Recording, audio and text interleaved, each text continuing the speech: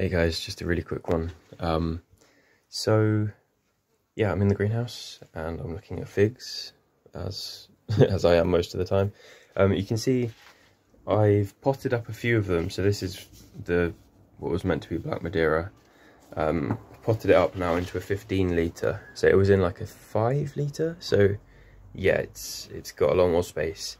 Um, I'm hoping that means that next year it'll it'll you know be able to get a good start to the season and like produce quite a few uh, figs. I'm pretty sure it isn't Black Madeira, but I want to see next year to see if the figs change because there were a couple of other channels on YouTube where they their Black Madeira put out some very odd looking figs for the first year and then I think they kind of normalized. So I want to see if that happens to this one. Um, quite excited because this this fig here um, is Coldedam gigantina. Um, and yeah, I don't know why, I just have some affinity to this one. But um, you can see this fig here is starting to swell. Um, it's got some like really beautiful kind of it's really difficult to like cracking around the sort of like concentric circles around the eye um, but uh, yeah, it's not drooping yet, but it's starting, starting to kind of soften up, so hopefully soon. This is the Vidino del Nord, and there's a, there's a fig here which I was going to pick yesterday, but I thought, no, just give it one more day. I think I'll pick it now, although it's still reluctant to come off.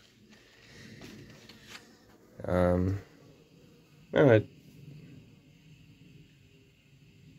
there wasn't any latex, so um, yeah, I was excited about this. The first fig that I had from this um, variety was quite thick and I really, really loved that.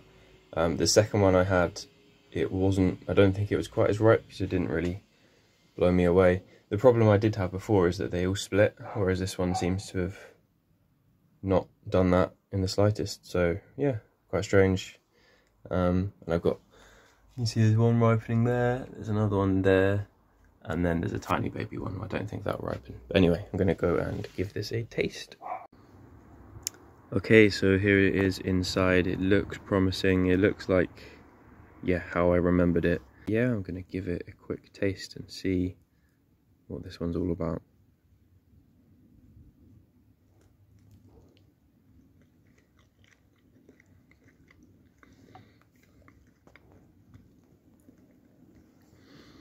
Wow. Yep. No, that that is like the first one where I, I think on the video it said this is what I thought figs should taste like. It's really, really thick and really, really sweet. Like super sweet.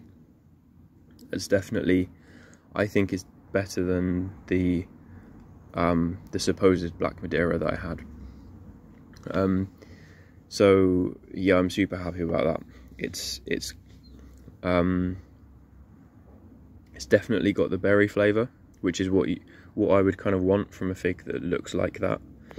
Um, and it's super thick. I, I, really love the consistency.